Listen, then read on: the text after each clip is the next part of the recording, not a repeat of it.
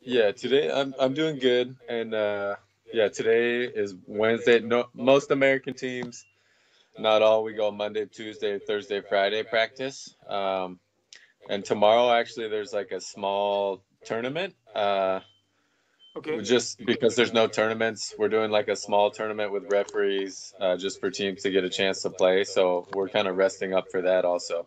So I did the gym this morning, then I, I went to the park with my daughter, and then I go coaching after this. So Ah, busy day. This was also uh, last week you told me. So you also uh, Yeah. coach coach some other teams or some uh, kids or No, I'm co- I'm started doing uh, indoor lessons. Um, yeah, it's nice. I like individual lessons with uh, with younger kids who are playing indoor, and uh, I mean, because I mean, it was already difficult for FIVB because they decreased the prize money and everything a lot, but uh, but now with the pandemic, it's Ah, it's not yeah. possible. It's not possible to just play volleyball and have a family. So Yeah. so now I have to coach and make some money, and yeah. But this is so good. for, so it's nice for that. yeah, a good thing that there is uh, the possibility to to uh, educate some some kids and then also be back in the gym for indoor volleyball, right? Yeah, So- yeah, yeah. It's nice. It's Yeah. So let's it start. took a while for the memories. Yeah, I want to take on this on the end, but when we are just uh, starting with indoor volleyball, uh, one one question at the start because uh, before you play beach volleyball, I don't know if everyone who's listening uh, already know that you have been a professional indoor volleyball player, right? And you Yes. almost played here in Germany and at Unterhaching when the club was Yeah. Famous. I was there for one month. Yeah. but um, uh, at with uh, how many years do you play indoor professional overseas? uh, I played four professional, and that would have been my fifth. Ah, okay. Uh, and, and then yeah, that's when I stopped.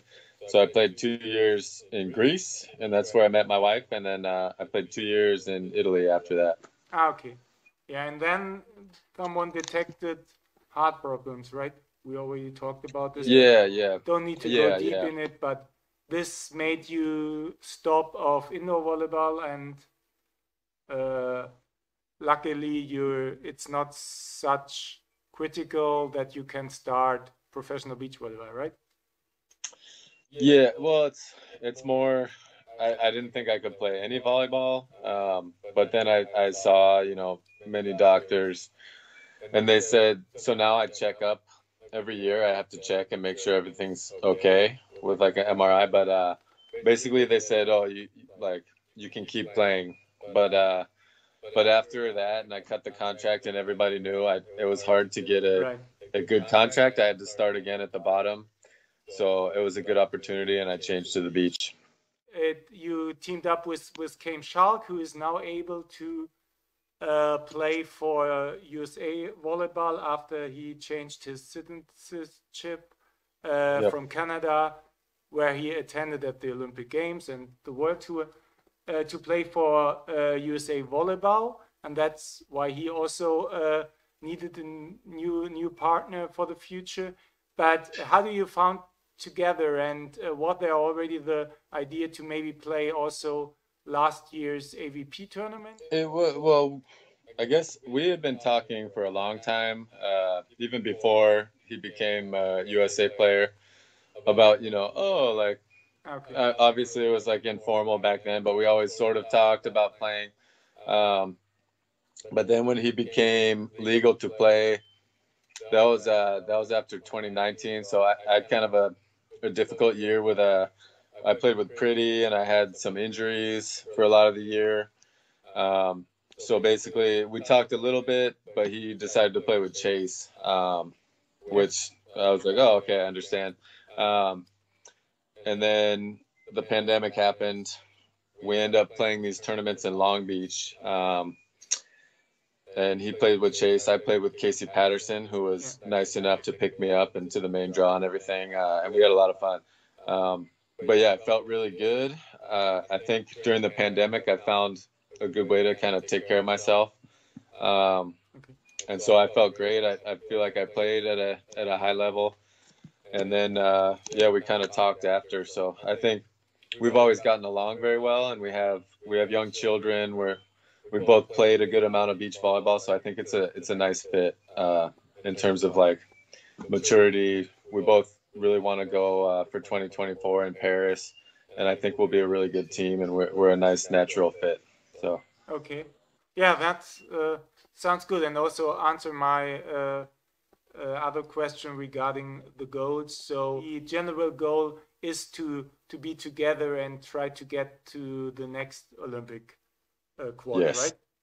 And the first real uh, important game have been the directly the country quota for the Doha FIVB uh, event against Tri and Trevor, and Tri and Trevor uh, needed this win a little bit or needed this to to keep their points or the possibility for qualify uh, to qualify for the Tokyo Games. Uh, but you won. So explain us a little bit the situation. This time the first real real match, and it was a street setter, right? And then you made it. yeah, so yeah, I mean they they're in a difficult position because they were the second team in the U.S. in terms of Olympic points and in the top 16, so they're in a good position. But uh, they had a bad ending to last to 2019, so they were in a position where they're not they don't have enough points for the main draw. So that, of course, uh, in a country like the U.S., that puts you into the country quota. So instead of being straight into the main draw like you would expect, they were just out and uh, had to play somebody. And unfortunately for them, it wasn't like a newer team. It was like a few experienced players, like, like me and uh, me and Chaim. So, so uh, yeah, so so we were able to win that game, but then unfortunately, we went to Doha and had a horrible game against a Spanish team that played really well. But yeah, that was a very a very painful. It would have been better if we lost and just kept my points. So, yeah. You done the whole travel and and and lost in the qualification, right? So yeah. how hard is it to especially in these times to to travel all this and maybe you had some practice maybe uh, at in Doha so but not making them. how hard was it Yeah. Oh, very very hard, and I mean, yeah, it's it was definitely one of the. wor- I've played a lot of country quotas and a lot of qualifiers. Um, I think maybe I've lost in one or two other qualifiers out of like a lot. Um, so not only was it rare for me to lose, but like to lose in that way, the first round. Um, we haven't played an international tournament in over a year.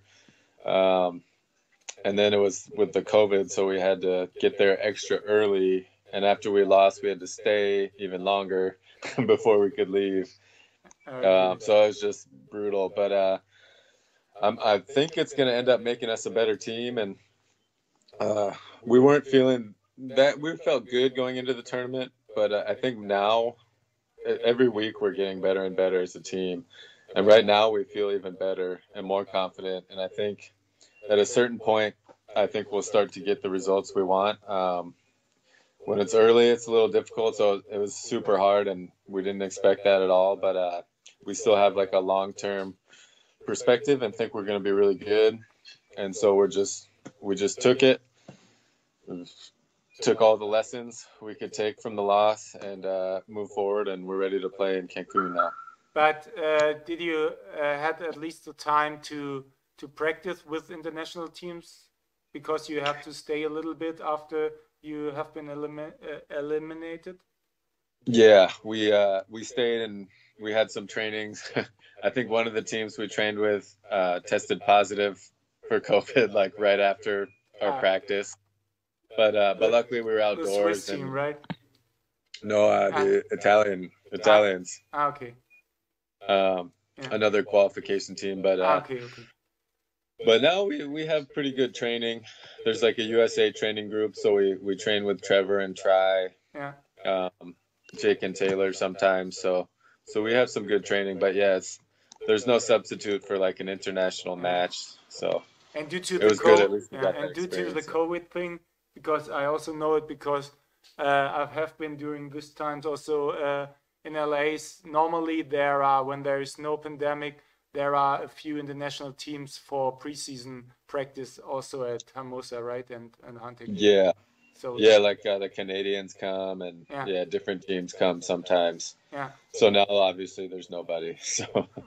okay.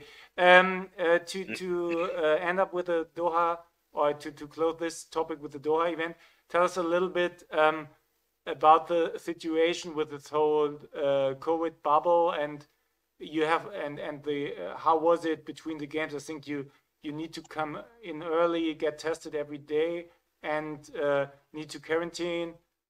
How yeah, so we had to get a test before we flew, and then we got tested when we landed, and then we had to quarantine in the hotel room for about 24 hours until we got our test results, and then we got tested every two or three days after that. Um, so it was good. I mean, obviously, some people tested positive. It's it's not so easy to make a a super impenetrable bubble now without billions of dollars. So like the NBA could do it because they had so much so much money, but I mean the FIVB they're they're doing their best and uh but yeah, I think you have to still be safe. Like I think many people maybe had their guard down and uh weren't wearing masks like all the time as much as they okay. could, but I, I was super careful. Yeah. Because I know, and even in Cancun, there, there's a good chance that some players will get it or will come yeah. with it and it won't test positive. So yeah. I think everybody has to be careful and, and protect themselves yeah. also. But uh, but yeah, I think on the whole, it's been a good a good thing, and I'm happy that the FIVB has been able to do it. Yeah, I think there is at least. Uh, a little bit a possibility to to get some money and also get get points for the teams who already need it for the Olympic yeah. qualification. But for sure, it's the risk is there. But yeah, it's like on every other job maybe. But yeah, so um, you already uh, announced it. So the FIVB announced, uh, I think the the calendar for for this year and the next one at the Cancun, Mexico event and there are three events in a row back to back. So um, what what's the plan for this? I heard that will, uh, there will be a country quota for usa again in in la but will there is this for the first tournament? And then second you need to fly home or back or is it one for everything? So all three country quotas there's going to be three and they're all in mexico. Ah, okay. so But, so okay, that means so we're that, gonna go yeah. and we're gonna stay for the three tournaments no matter what. Um, ah, okay. Hopefully, hopefully we win all three. We play three tournaments. Um, if we don't win all three, we're gonna stay there and, and practice and take it like a training uh, camp. Ah, okay. So, because I think it's maybe they let a few people leave, like if you have a good uh, excuse, but but mostly you're not supposed to leave once you're there. So uh, ah, okay. So our plan is to stay until the end. So. Ah, okay, but then the country quota will be uh, when you all arrived and out of the bubble, you play the country quota, and then uh, the the team who not make it through the country quota have the chance to play a one week later again, right? To get uh, qualified. Yeah. Yeah, or even like six days. I think the tournament is spaced out by like six days yeah, okay. instead of. But uh, but yeah, okay. and that also makes it if if you win the country quota, qualify, and have a good tournament, it seems like you have to play maybe the next day for the country quota. So. Ah, okay. So it could be. So hopefully we play and we have no days off. so. okay. So yeah, fingers fingers crossed that the main draw um, is the yeah. goal. So, um, but uh, in terms of points, uh, the points uh, of of Chaim are they deleted or during this uh, two years of of ban due to the uh, country switch? Yeah. yeah, they were totally deleted. So uh, ah, okay. He was able in 2019 to play two events, um, a couple NORCECAs. So the maximum you can get is 100. So he doesn't have so many points. Um, so I have like okay points for for the qualification. Uh, but we're close. I mean, we we have to get in and get some results because if we have more results like we had in uh, Doha, then we won't have enough points to play. So, so it's stressful for sure. If the country code is it against against and Trevor? Uh, I think as of now, so I think if if other teams drop out, maybe four or five other teams, they could get into the main draw, and then we wouldn't play them. But as of now, I think the first tournament and the third tournament we play them. The second tournament, uh, Casey Patterson and Chase um, Budinger are not going. Okay. So that means that we will play uh, Bill and Miles, Bill Kolinske and Miles Evans, probably.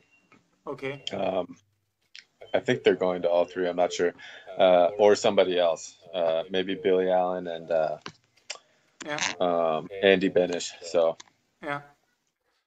You've played so long now at the World Tour um, and have been on so many events. Is there uh, maybe a different uh, to be on at the same tournament at another year because you've been there with a different partner? So is it maybe you you gone to an event and uh, one year it was uh, was was different to other year where you have been there with a other partner?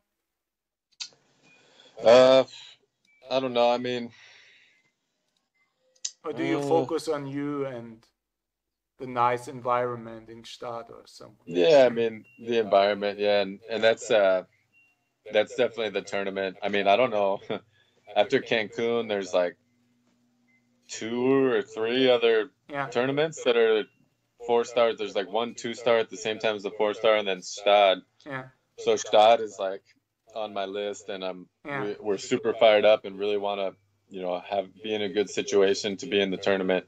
yeah, Um, and even with no, even if there's no fans, uh, hopefully there's something. But uh, yeah, even with no fans, I'll be very happy to be in Gstaad. So yeah. So you also this is one of your favorite tournaments, right?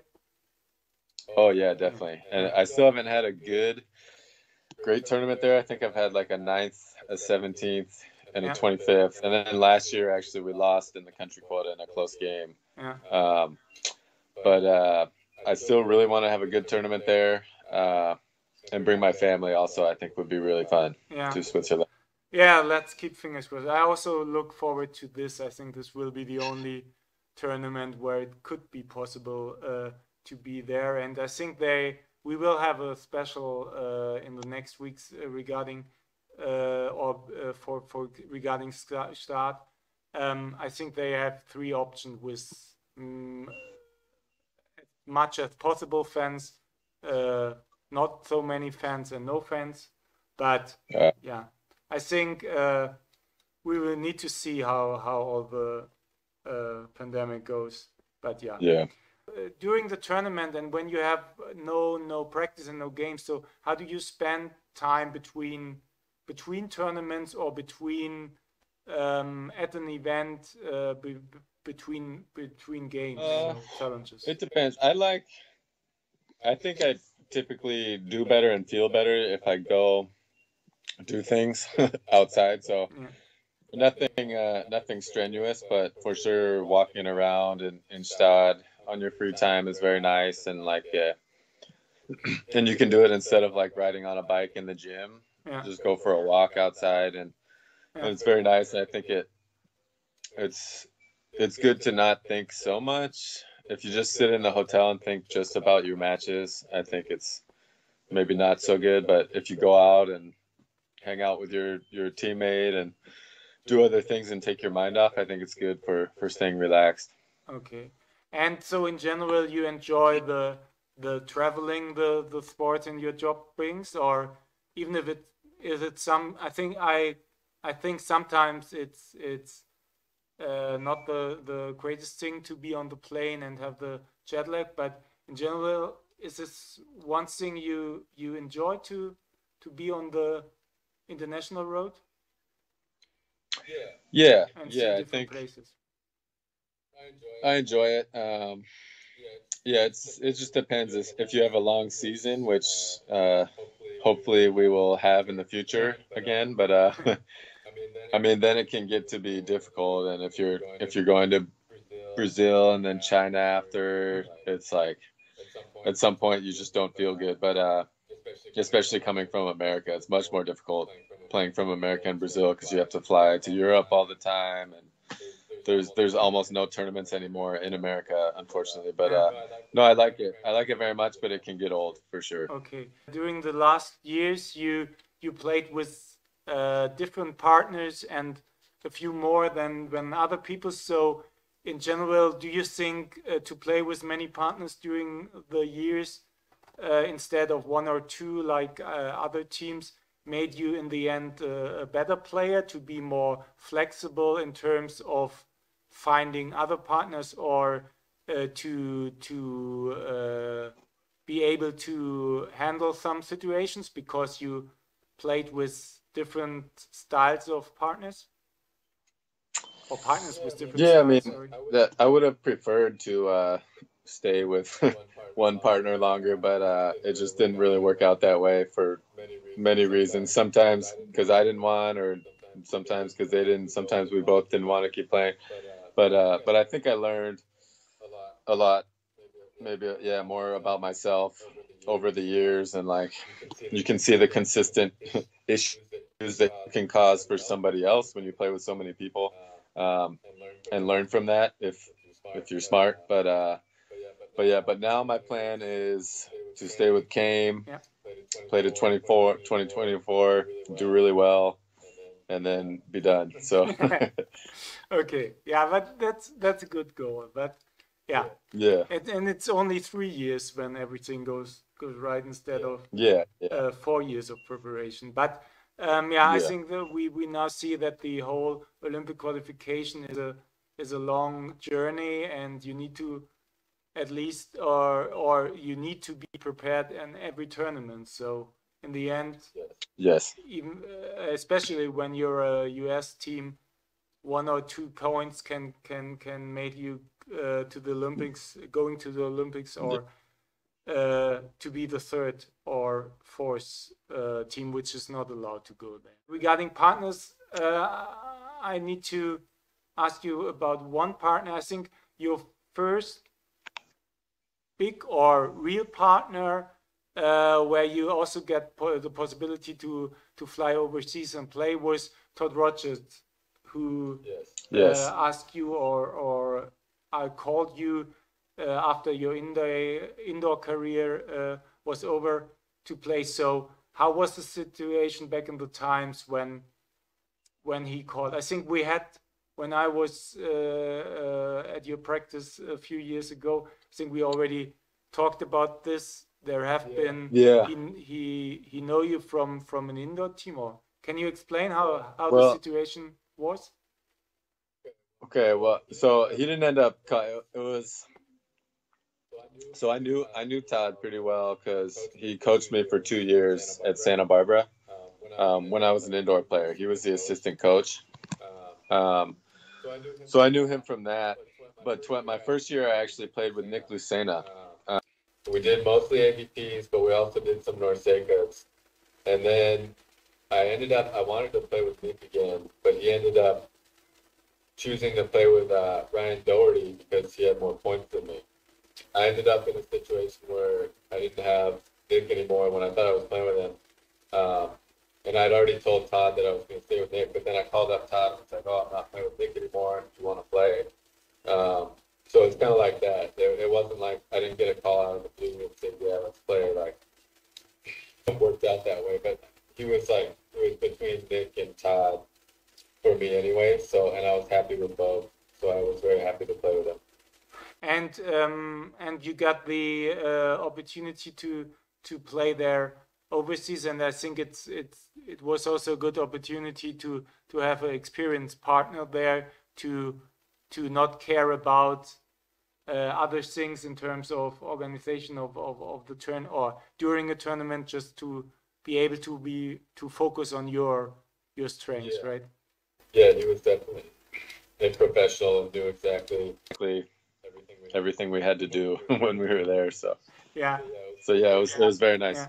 Yeah, I, I visited him. I think he's still the head coach of the uh, NCAA team of uh, Cal Poly, right? Yeah, Cal Cal Poly. Yeah, yeah. It seems like he's doing really well. We once in a while we uh, we text with each other. Um, Yeah, he also. so yeah, and he's a, he's a good. He's always uh, rooting for my success, and he, and me too for him in college. So we we still get along very well. Yeah, and yeah, I think he follows. Yeah, and if every uh, if and, and he always uh, asks if, if if there are some uh, female young players which maybe can can come Yeah. uh, Go to, to to join. So if someone is listening and uh, is a good uh, beach volleyball player, message us. We can link it. But maybe you know, maybe your daughter later in the future Yeah, she's can she's gonna be a good athlete, and she's very long. She's very tall. So Yeah, that's good. Yeah, maybe so then it all come together again. When there is no beach volleyball, so uh, how is your day also do, during the pandemic? I think the situation in LA is a little bit um, free, more or a little more free than compared to to here in Germany because you got the vaccine running, I think. But in general, yeah, I think you can't do any uh, all the things like uh, two years before. So how, how's your day? So practice, then care about your your daughter and your family, or? Uh, yeah, a lot lot of family time, and a lot of the pandemic was definitely the the year of like going to the park two day two times per day for like two to four hours. Like, like okay, that's that's all we could do for the whole time and uh so it was really nice to spend that much time with my daughter. Um but uh but i'm excited to put her in some sort of school next year So- yeah, but uh but yeah i mean that's pretty much what i do like because we didn't have anybody we don't have any family to watch her so it's just up to us and Yeah. and it wasn't a time for a nanny or Yeah. preschool really so so we i just spend a lot of when i'm not doing volleyball stuff then we're just spending time with our Yeah. daughter so yeah. We I think uh, last year at this time we uh, I talked with with Nick uh, also, and he also said a thing which really uh, also explained uh, for uh, the situation for many people. It's it feels like the day the same day again and again because you're doing yeah this For part, sure. yeah. In terms of, of sports, we know uh, some other or many of, of players do in their free times times also some other sports. I think uh, Jake Gibb is nearly a golf professional. So, uh, do you also have a, a sport, a second sports where you ne- uh, you're nearly a, a prof- pro in? i like all sports. I played a lot of soccer growing up. Uh, i'll play tennis now and then. I love shooting baskets but Uh, i mean probably I, I can't play much now with a kid and another kid on the way but uh but video games probably if i could go back in time i would be a pro uh, gamer. Okay. or if, Yeah, this is- if i could be young now. Ah, i was always very good at those. Okay. I think um, I uh, got answered all my question, like always when when uh, I have some questions from you. So I appreciate it really. Um, and uh, so an, another baby is is on the way. I I heard. yeah yeah and uh bad timing uh may 30th my wife is due so Ah, okay. there's a couple turns around then yeah, so we'll see what happens so yeah. But congrats to you to your wife. And yeah thank you thank you very much I hope we maybe see us on in Gstaad. I already bought a microphone with long distance uh, tripod pose, so there is no reason why you not uh, uh, be at the mix zone and need to talk. Okay, Theo, then Yes. appreciate it and thanks for your time. Enjoy the rest of the day, and um, yeah, we keep in touch. Thank you. okay Okay. thanks Nils. Bye. have a good one uh Gstaad. Yeah.